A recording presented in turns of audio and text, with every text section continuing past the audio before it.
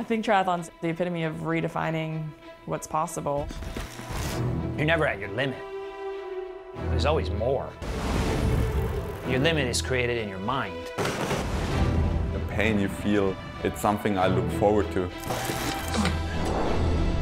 Beyond Human documentary. Okay. Cut one or whatever. The coronavirus basically ruined all the dreams I had for this year. We have one life. What am I doing with this? Sprained it. I, I rolled it, I heard it. It's, it's injured. Quitting is not an option. Absolutely not. Just shove your ankle in an ice bucket and do it tomorrow. We get it done now, or we don't do it. Need that fucking bullshit. I just am screaming to go and, and to fight and to get out there. I want to inflict pain. I like crushing people. I love that pressure when it really matters. It makes me feel so alive. The World Championship, you can feel the energy. Goosebumps. You don't have a choice. It's do or die. You have to push through that pain, that suffering.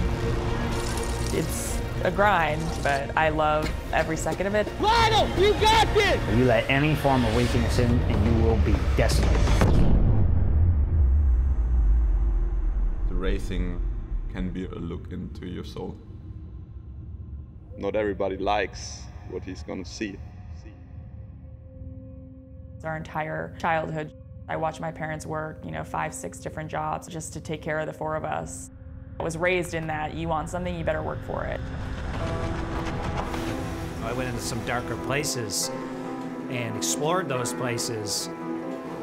Triathlon saved my life. You can't put limits on what's possible. Who's setting these limits?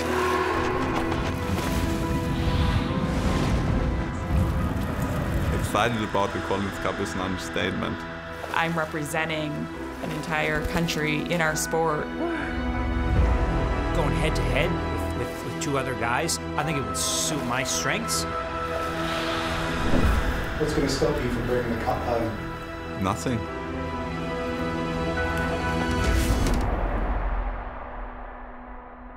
Talk is fucking cheap. I will show you on race day what no limits looks like.